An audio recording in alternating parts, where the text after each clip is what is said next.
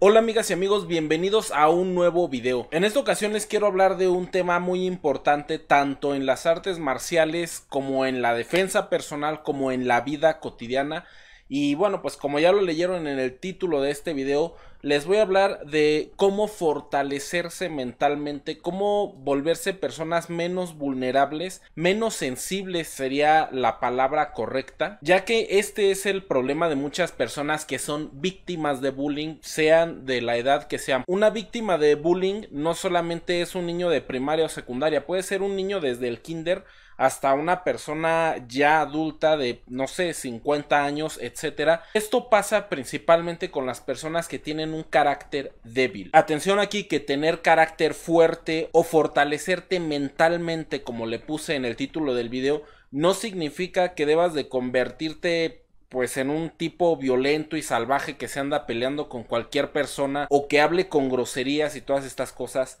para nada. Una persona que es fuerte mentalmente tiene muchas ventajas. Por mencionar algunas, tiene la capacidad de enfrentar los problemas de mejor manera ya que precisamente su fuerza mental le ayuda a mantenerse centrado, a mantenerse en calma y pues a ver la situación tal cual como está pasando sin exagerarla. También una persona que tiene fortaleza mental es capaz de dirigir una familia, un grupo de personas o dirigir su propia vida en momentos críticos, en momentos difíciles, en momentos en los que todos los demás ya doblaron las rodillas, ya se rindieron, ya están para abajo, ya están diciendo que pues es mejor tirar la toalla o algo así. Una persona fuerte mentalmente pues es capaz de guiar para salir incluso de los agujeros más profundos. Otra ventaja de ser fuerte mentalmente es que no te van a hacer tonto tan fácilmente. Engañar a una persona con fortaleza mental es muy pero muy difícil. Puedes decir fácilmente no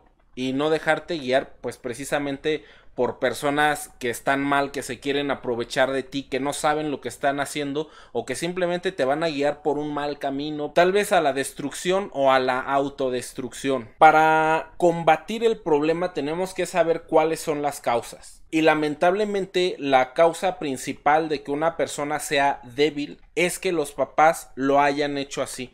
Nosotros cuando nacemos no sabemos nada del mundo, nos van a pasar muchas cosas a lo largo de nuestra infancia, nos vamos a caer, nos van a insultar, nos vamos a lastimar de diferentes maneras y en esta clase de situaciones es precisamente en las que los padres vuelven débiles a sus hijos. El ejemplo que más he visto, el más común, el que seguramente ustedes han visto también y el mejor ejemplo para este tema es cuando un niño una niña pequeñito va corriendo, se tropieza, se cae y voltea hacia todos lados los papás o los hermanos mayores o quien esté a cargo de ese niño o niña se levanta corriendo. ¡Ah! ¿Estás bien? ¡Ay, pobrecito! ¿Qué te pasó? Y es más grande el susto que le dan al pequeño o a la pequeña que la misma lesión, que la misma caída, que el raspón, etcétera. Cosas como estas son las que en el futuro van a hacer que una persona cuando por ejemplo, tenga un problema en la escuela o llegue algún chamaco abusivo, alguna persona abusiva y le dé una patada, pues esta persona reaccione espantándose y alterándose totalmente y no sabiendo qué es lo que va a hacer, qué va a pasar, terminan por bloquearse y bueno, pues esto como ya les mencioné, los lleva a ser blancos muy fáciles de personas abusivas y esto incluso puede terminar en una tragedia. Algo que también provoca que una persona sea débil mentalmente o que sea vulnerable o que sea sensible es que los padres no lo dejen afrontar problemas que llegue a tener. Por ejemplo, tiré el jugo, está ahí un regadero, eh, vomité, no sé, pasó cualquier cosa que seguramente le ha pasado a muchos niños y el papá, la mamá, el tutor lo que hace es llegar, regañarlo, y limpiar, ¿no? Limpia ahí y el niño ahí medio está limpiando y chillando, ay, a ver, deja, se desesperan, le quitan el trapo, le quitan el recogedor, la escoba y lo empujan, ¿no? Y ellos se ponen a hacer el trabajo que realmente el niño o la niña sí puede hacer. Maltratar a un niño también lo va a hacer débil mentalmente. Es también muy importante que si ustedes tienen hijos, no los agredan, no los estén golpeando, no les estén diciendo que son tontos, que no pueden, todas estas cosas que realmente causan una inseguridad. Golpear a un niño va a hacer que le tenga miedo a las figuras grandes, ¿ok? O a las figuras de autoridad. Por ejemplo, tengo un problema en la calle con una persona que se ve más grandota que yo, pero yo soy fuerte, yo soy ágil, yo sé artes marciales y aún así me da miedo y me bloqueo porque ya le tengo miedo a esa figura. También puede pasar lo contrario, que lo golpeen tanto, tanto, tanto que pierde el miedo, ¿no? Pero de todas formas lo van a afectar de otras maneras. También es una forma de hacer débil a una persona, de perjudicarla y hacer que, bueno, pues no esté centrada y no se dé cuenta del potencial que realmente puede llegar a tener. Ya sabemos que este problema de la debilidad mental se forma en los primeros años de vida de un ser humano. Ahora, ¿qué pasa si ya tienes 16, 18, 30, 40 años y de todas formas sigues siendo una persona tímida, una persona insegura, una persona que, que, le da miedo defenderse, que le da miedo decir que no, porque es muy importante saber decir que no. El hecho de no saber decir no nos puede meter en muchos problemas y puede provocar que hagamos muchas cosas que realmente no queremos hacer. No importa la edad que tengas, para empezar a cambiar esta mentalidad y empezar a fortalecernos mentalmente, lo primero que necesitamos es conocer nuestras cualidades, nuestras fortalezas, estudiarnos, pensar en lo que nosotros mismos hemos hecho por pequeño que parezca por ejemplo, se descompuso el auto de mi mamá, de mi papá, o había una persona pidiendo que lo apoyaran a empujar el auto y llegué yo, no había nadie más, lo ayudé a empujarlo y lograron echar a andar ese carro por el empujón que yo solito le di. Bueno, pues esa clase de victorias aunque parezcan insignificantes, nos van a empezar a dar seguridad. Ponte a hacer memoria de todo lo que has hecho bien, de todo lo que te ha salido correctamente, por insignificante que parezca, por ejemplo, reparar algo, ayudarle a alguien, cargar algo pesado, resolver algún pequeño problema o gran problema que se le hacía complicado a otras personas, ayudar a alguien. Todas esas pequeñas victorias son las que tienes que tener en cuenta para que vayas despertando y vayas viendo que realmente tú también puedes hacer muchas cosas y tú también puedes ser muy fuerte. Un ejercicio que también te va a ayudar mucho es verte al espejo, ver tu rostro, ver tu cara y tratar de cambiar esa cara como de distraído, como de inocente, como de una persona débil cambiar esa cara por la cara de una persona más fuerte, ver, ver tu propia cara, pero en vez de estar mirando, por ejemplo, así, poner cara de persona dura para que tú mismo te convenzas de que puedes llegar a ser igual de duro que cualquier otro o incluso más. Este es un ejercicio que a mí me sirvió mucho, en especial, bueno, en un tiempo estuve peleando vale todo y me intimidaba en algunas ocasiones por la apariencia de otras personas, ¿no? Porque los que peleaban vale todo en esos tiempos eran personas tatuadas, pelones, personas ya grandes de 35 años, de 38 años, que los veías y te quedabas así de ¿qué hago aquí? Este tipo me va a matar. Fui al baño, estuve viéndome, puse cara de malo y me convencí de lo que iba a hacer, de que podía ganar esa pelea y sí la gané afortunadamente. Esto es algo que utilizaba mucho cuando me iba a enfrentar a un peleador que era difícil, que se veía malo, que se veía fuerte, que a lo mejor conocía o no conocía y de alguna forma me causaba cierto temor. Y sí, me funcionó muy bien el hecho de ir y ver mi propio rostro con esa fuerza que quería, con la decisión marcada en el semblante y es algo que les recomiendo mucho que hagan siempre que se vayan a enfrentar a una situación difícil, véanse al espejo, pongan la cara más ruda y fuerte que puedan convénzanse a ustedes mismos de lo mucho que pueden llegar a ser. Otro tip que les puedo dar para fortalecerse mentalmente y todo esto me estoy refiriendo a fortalecerse en cuanto a el tema de enfrentar cosas difíciles, enfrentar a una persona, enfrentar pues no sé, a lo mejor a tu jefe,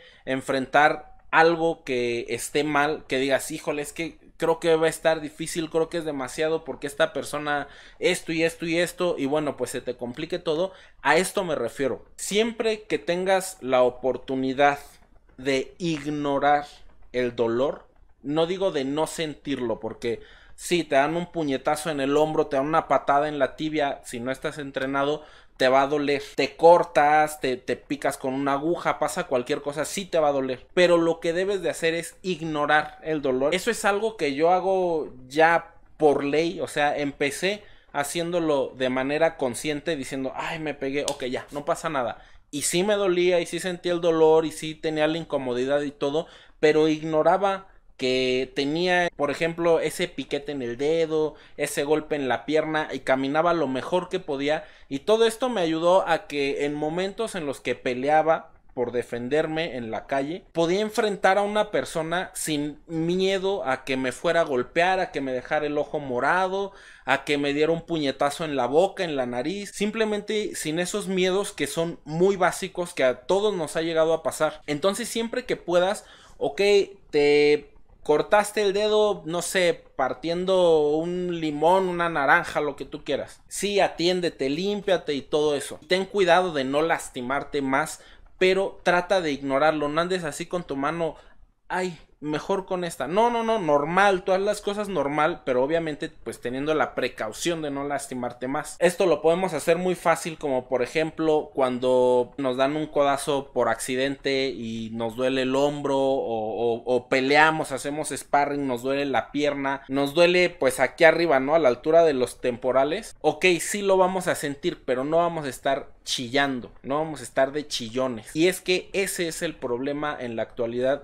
de muchos niños y muchos jóvenes que son chillones, se caen y chillan, pierden algo y chillan, pierden en un videojuego y chillan, los regañan y chillan, casi de cualquier cosa ya están chillando, ya los afectaste, ya les dolió, ya se sintieron inseguros porque les dijiste algo, porque les hiciste una broma, porque a lo mejor sí lo golpeaste sin querer de alguna manera, pero no es tan grave como para ponerse a llorar o, sentirse mal y deprimirse. No es tan grave y sí muchos son muy débiles en ese aspecto. Esta debilidad con la que cargan muchos jóvenes y muchos niños en estos tiempos se lo atribuyo precisamente a, por ejemplo, los filtros esos con orejitas de perrito, en los que las personas se ven vulnerables, se ven débiles, se ven delicados, están acostumbrándose a, arreglarse los labios y depilarse las cejas, tanto niños como niñas. Antes las niñas y los niños no lo hacían. Las niñas 10, 12, 13, 14 años ni por aquí les pasaba depilarse las cejas. En estos tiempos, incluso niños y niñas de 10 años, de 12, de 13 años, hacen esto de depilarse las cejas, incluso de utilizar maquillaje para, no sé, cubrir ciertas cosas. Y no se diga, pues las chicas y los chicos de 16, 17, 18, 20 años, 25 años, que también se depilan las cejas, sean hombres o mujeres. Todo lo que hacen actualmente, pues es sonrisitas, así tomarse fotos haciendo caras así como igualmente reflejando una personalidad vulnerable, haciendo caras que son contrarias a la cara de una persona fuerte. Con esto no estoy criticando a nadie, simplemente les estoy diciendo qué es lo que yo creo que ha hecho que actualmente los niños y los jóvenes sean así. Cuando yo era niño, pues también había, había niños o había algunas niñas que también chillaban de cualquier cosa, ¿no? Por este mismo problema de los padres. Pero no era tan marcado como en estos tiempos lo es. Esto depende de una actitud, depende de que ustedes se den cuenta de que realmente tienen la capacidad de hacer muchas cosas, que tienen ciertas cualidades, que tienen fuerza, que tienen el mismo potencial que cualquier otra persona. También se trata de cambiar la actitud, no importa la edad que tengas, cambiar esa actitud de, ay, es que me raspé y no quiero golpear esos typads porque están muy duros, no quiero golpear el domi, la gobernadora, no quiero golpear el costal porque mis manitas, mis puñitos se van a dañar. Es dejar esa actitud débil de lado. Si algo tienes que hacer, tengo que golpear un costal porque me mandaron pum con todo y sí, me van a doler los puños y sí, se me van a pelar los nudillos y sí, mis huesos me van a doler y con el tiempo mis nudillos se van a saltar, ¿no? Se van a hacer grandes y fuertes. Tienes que tener esa actitud de, ok, lo voy a hacer. No puedes andar por el mundo a medias medio hago artes marciales, pero hasta aquí porque si no me duelen mis manitas o si no se me ven feas. Medio le voy a ayudar a esta persona porque es que me voy a ver mal o mis amigos se van a burlar de mí. Las cosas o las haces o no las haces. Evita todo eso que te haga ver débil ante ti mismo y ante las demás personas. Evita, por ejemplo, el filtro de perrito, ¿no? El filtro de zorrito. La selfie con la cara de, de pato, ¿no? Como le decían. Evita hacerlo, ¿ok? Porque estamos hablando de que quieres ser más fuerte mentalmente. Y discúlpenme, pero no me van a decir, ay, no, es que yo puedo depilarme y puedo ser así, así, así y ser fuerte mentalmente. No. Puede ser agresivo y puede ser un delincuente y puede ser violento y puede ser otras cosas, pero fuerte mentalmente no lo vas a hacer. La fortaleza mental, como ya les dije, no se trata de eso. Una persona que es fuerte mentalmente es capaz de enfrentar muchas cosas sin perturbarse, sin perder el piso, sin atontarse. Pueden incluso mantener el temple en una situación en la que tienes a una persona de frente insultándote, retándote, diciendo que te va a partir la cara, amenazándote con todo. Si eres fuerte mentalmente, no voy a reaccionar. Sus palabras no me interesan, sus ademanes, todo lo que me esté diciendo, no me interesa. Me interesa que no me toque, porque cuando me toque, cuando se me acerque, cuando cruce una línea que yo voy a decidir, en ese momento se acaba su oportunidad de dejar las cosas como estaban. No se confundan. Ser agresivo, ser violento, ser peleonero, no es ser fuerte mentalmente. De hecho, eso es también parte de ser débil. Estúpido. ¿Qué? ¿Cómo me dijiste? Ya van todos exaltados y todos enfurecidos. No son fuertes. Tienen debilidad mental. Por eso reaccionan muy fácil ante cualquier estímulo. Esto se trata de eliminar lo que te hace débil, lo que te hace vulnerable. Esa debilidad de que me, me haga una cortada en la mano, en el brazo, en la pierna, donde fuera. Me corté ya todo nervioso y ya no saben ni a dónde ir, ni qué hacer, ni para dónde caminar. O sea, se bloquean totalmente. Precisamente porque no tienen esa fortaleza mental. Ja, ja, ja, se burlaron de mí, me dijeron que me veo bien tonto, lo que sea. Ay, ya me siento mal, es que me siento inseguro, me siento vulnerable. Eso es debilidad mental y eso por supuesto que te afecta. No tienen idea de cuántas personas mediocres, porque lo he comprobado, son gente mediocre, ha venido a decirme cosas, ¿no? Para, para desalentarme, para que yo me sienta triste y mal, pero no, yo no tengo la misma debilidad mental que esas personas. Yo sé que pues es una persona precisamente que está mal de la cabeza, que se obsesionó conmigo de alguna manera, tengo la capacidad de ignorarla, decir, ¿sabes qué? tu comentario a la basura y leer lo que sí me interesa. Y sí, eso de depilarse las cejas, tomarse fotos con el filtro y todas esas cositas, sí los hacen vulnerables. Sí contribuye a la debilidad mental. Convéncete a ti mismo de que tú puedes de que tú también tienes, de que tú también sabes, de que tú también vas a aprender y por supuesto que tú también te puedes defender. Tú piensas que tu oponente no va a tener miedo, tú piensas que tu oponente no le van a doler los golpes, ellos también se revuelcan en el piso de dolor y ellos también se van a su casa asustados. Cualquiera puede ser noqueado, cualquiera puede perder, cualquiera puede ganar. Una pelea empieza aquí arriba desde que te estás preparando. Cuando estás con tu oponente de frente hay una batalla psicológica. Quien gane esa batalla psicológica tiene un 70-80% de probabilidades de ganar la pelea. ¿Cuántas veces no hemos visto un careo de dos peleadores en el que uno está haciendo ademanes y está todo tatuado y se ve bien maldito y está amenazando al otro, pero a la hora del combate el que estaba calladito termina avergonzando a esa persona que estaba de bravucona. Regularmente esas personas que saben callarse y que saben observar son las que también saben actuar y esto es gracias a su fortaleza mental. Si a ustedes les interesa, puedo hacer videos muy muy muy útiles, los cuales son ejercicios de defensa personal de Krav Maga y de sistema ruso en los cuales una persona pues se tiende en el piso, cierra los ojos y el maestro o un orador comienza a plantearles una situación en la que nosotros pues nos vamos imaginando todo lo que nos están diciendo y pasa por muchas etapas. Se ponen diferentes situaciones, diferentes escenarios, diferentes resultados, resultados en los que pierdes, resultados en los que ganas y esto ayuda a mejorar tu fortaleza mental y a prepararte para muchísimas situaciones. Si les interesa déjenmelo en los comentarios. Espero que les haya servido mucho este video. No olviden regalarme un like y que en la descripción les dejo todas mis redes sociales, enlace a mi segundo canal, enlace a mi tercer canal de videojuegos y un enlace a YouNow. Y nunca, pero nunca olvides que todos podemos despertar a ese titán que vive dentro de nosotros. Nos vemos en otro video. Hasta la próxima. Bye.